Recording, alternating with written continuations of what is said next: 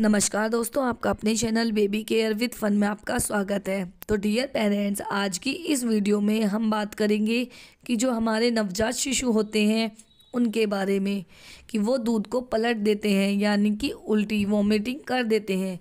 तो कई बार बच्चे प्लेन दूध की उल्टी करते हैं तो कई बार बच्चे फटे हुए दूध की। लेकिन क्या आप जानते हैं कि वो ऐसा क्यों करते हैं?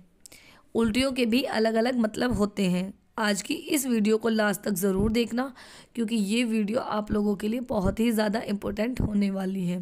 तो आइए फ्रेंड्स बिना टाइम वेस्ट करे शुरू करते हैं आज का वीडियो। पहला है, अगर आपने अपने बच्चे को दूध अभी अभी पिलाया है और तुरंत बाद आपने उसको डकार भी नहीं दिलाई है तो इस केस में भी बच्चा अपना दूध बाहर निकाल देता है, यानी कि पलट देता है। बच्चे को दूध पिलाने के तुरंत बाद बच्चे को डकार ज़रूर दिलाएँ। डकार दिलाना उतना ही ज़रूरी होता है जितना कि बच्चे को दूध पिलाना। सेकंड है कि बच्चा क्या करता है? कई बार दूध पीने के बाद भी, कई बार डकार दिलाने के बाद भी वो बच्चा दूध निकालता रहता है।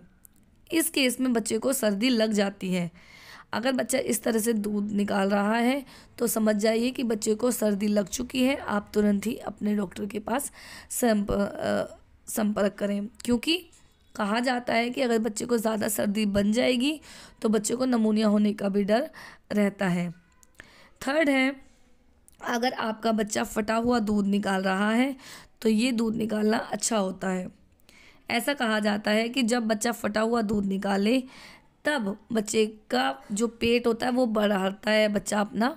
तो इस कारण से बच्चे का दूध फटा हुआ दूध बच्चा निकालता है। तो बच्चे का फटा हुआ दूध निकालना अच्छा होता है। उल्टी ठीक करने के उपाय। छः महीने से छोटे बच्चे को आप कभी भी कुछ भी नहीं दे सकते हैं। छः महीने से बड़े बच्चे को आप घर पर ही इलायची का पानी को उबाल कर बच्चे को तीन से चार बार दिन में एक एक चम्मच दिला सकते सकते हैं।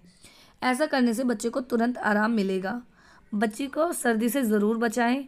साथ ही आप बच्चे को डोमेस्टल नाम की दवाई भी दे सकते हैं, दूध पिलाने से आधा घंटा पहले।